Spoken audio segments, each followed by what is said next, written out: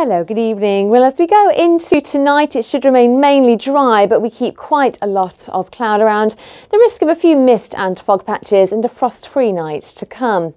So for Sunday, it's fairly similar to today. It should remain mainly dry, aside from the odd spot of drizzle. Plenty of cloud around, though, aside from the odd brighter spell. A bit of a breeze still along the south coast and feeling slightly chillier still than it did today.